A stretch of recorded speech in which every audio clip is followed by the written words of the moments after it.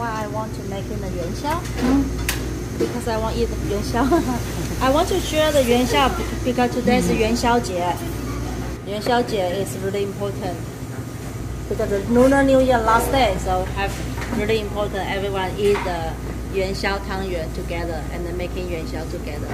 So this is really important. Family, friend together making one important thing together. We just making the sesame seed flavor one and just making a small sesame bowl and then just roll the, into the sweet rice flour again, again, again, a layer, layer, layer.